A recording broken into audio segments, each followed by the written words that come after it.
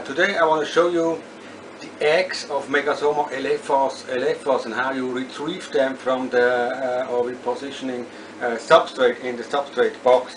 Um, that's what I did here. It was a female of Megasoma elephas in it from the 21st of April. Today is the 21st of June, two months later.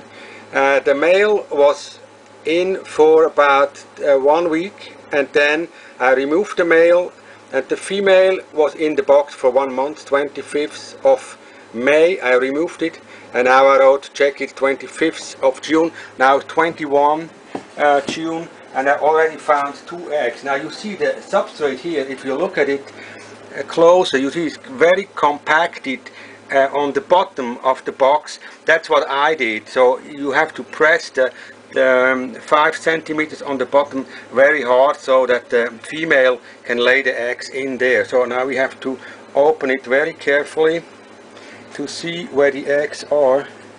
And let's break something apart to have a look where they could be. There are a lot of worms in it. I don't like them really because they disturb uh, the substrate and sometimes if you're unlucky they can also disturb the eggs in the substrate so now we have to look through the substrate here whether we see an egg they are pretty big so you can't really miss them.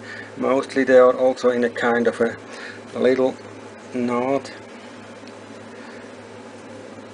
Uh, um, there are pieces of the beetle jellies deep down in the substrate so the the female is bringing uh, material from the top to the bottom of the box. I don't know whether it's meant to to feed the the larvae that um, emerge from the eggs or hatch from the eggs that they wanted to feed them with this. But it could be that they make uh, they put some material that the larvae can eat next to the place where they oviposit. So that the freshly hatched larvae can eat from this material. So now this is a kind of the search. You have to scramble the whole thing carefully so that you don't kill an egg when you press too hard. Okay, now I put something.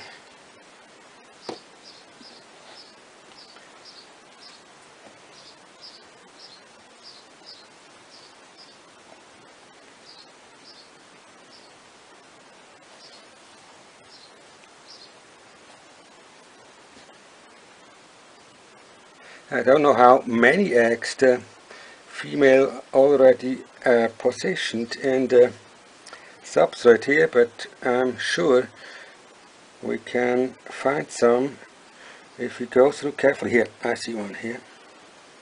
You see that? This is the egg of, of Megasoma elephas, elephas from um, Central America. Now I have I prepared a box uh, to put the egg in I, I, make a hole. I look that there are no um, earthworms in here.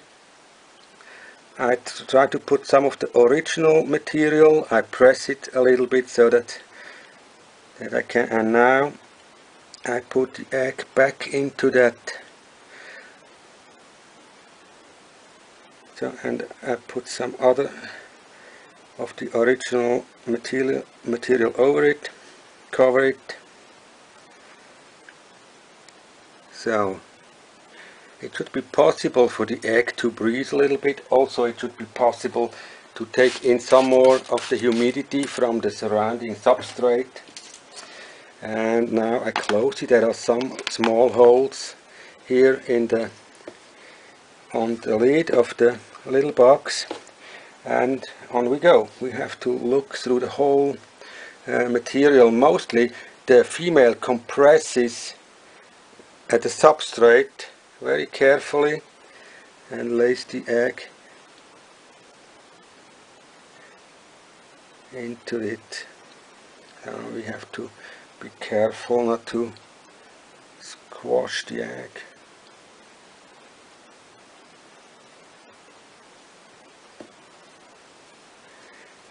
And in the meantime while I'm looking for the for the eggs I can show you uh, an adult uh, a really now what is that? Now this is the larva of Megasoma look watch my little finger uh, against it. It's so incredibly big and fat and it's also also um, yellow it means that it should poop, pupate now. In the next time I hope that within the next uh, few uh, months or days or weeks that it will be a pupa and look here's another egg. Um, inside a little knot in the substrate already pumped up probably you can already see the little larvae inside. This is close from hatching now. And if you compare it with the big larvae you see how incredibly fast they grow.